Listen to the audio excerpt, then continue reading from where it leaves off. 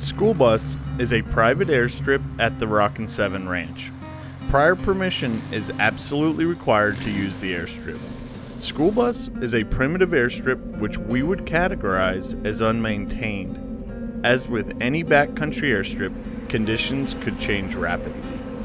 The elevation is at 4,940 feet, making density altitude a major consideration. The runway is 1,725 feet long, and it averages 18 feet wide. However, it is bisected by a 10 degree dogleg roughly halfway down the strip. This basically makes it two different runways. The northernmost part of the dogleg yields roughly a magnetic heading of 1735. It is 800 feet long and slopes up 20 feet south to north. In other words, landing 3-5 from the dogleg would be uphill, while landing south on 1-7 would be downhill. The southern section of the strip is roughly a magnetic heading of 1836. It is 925 feet long and slopes fairly aggressively with a 40 foot difference in height. Meaning, landing north on 36 would be uphill, while landing 18 would be downhill.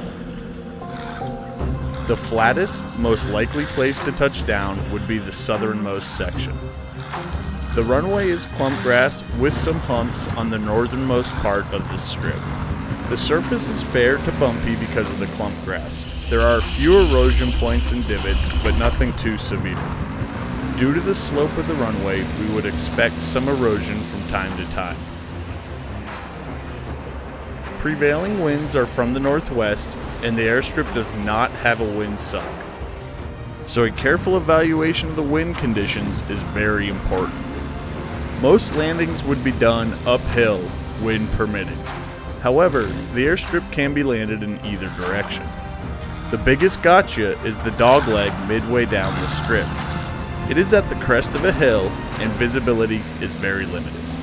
The best way to treat this airstrip is basically as two runways. The approaches are clear in both directions.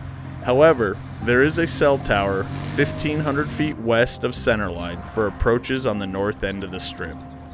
Depending on the performance of the airplane, a go around initiated late in the flare or a balk landing may not be successful when landing uphill. Rising terrain would be a major issue for any airplane short on performance.